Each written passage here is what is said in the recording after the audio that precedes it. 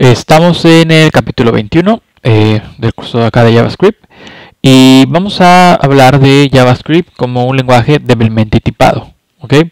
Eh, en principio, eh, ¿qué va a implicar que sea un lenguaje débilmente tipado?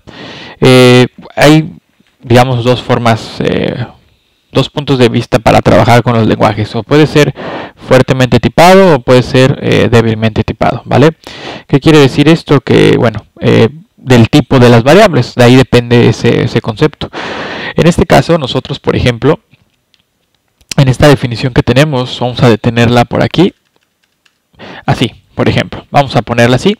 Esto ya nos da una idea de que pues, tenemos un lenguaje débilmente tipado, ya que como ves solamente estoy declarando el, la variable var espacio edad, por ejemplo. Automáticamente estoy diciendo quiero que reserves un espacio genérico porque después yo lo que voy a poder hacer aquí en otro apartado es decir que edad sea igual a 10 por ejemplo o sin ningún problema voy a poder decir que edad va a ser igual a 1 la mundo por ejemplo ¿ok? y no va a haber ningún problema eh, edad no va a sufrir ningún error ningún problema nada de esto esto es lo que implica que sea débilmente tipado, es decir, que las variables no están amarradas completamente a un tipo y se van a ir cambiando pues dependiendo de las asignaciones que le ponemos.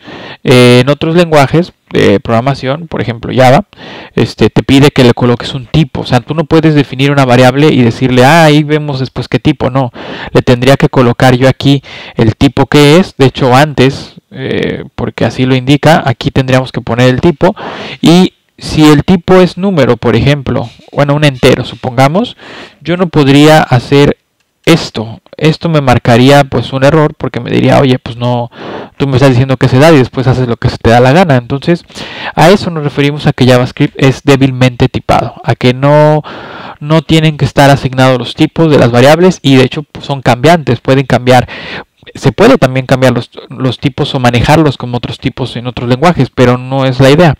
Simplemente cuando decimos que es débilmente tipado, le estamos diciendo que no vamos a estar tan amarrados a los tipos y cada quien lo puede ver como algo bueno o como algo malo. Hay gente que dice que es bueno porque pues, te da flexibilidad, hay gente que dice que es malo porque pues, te ayuda a cometer errores, ¿no? O sea, no te pone restricciones, pero muchos dicen que eso queda del lado del desarrollador, bueno, ya sabremos nosotros qué pasa, ¿vale?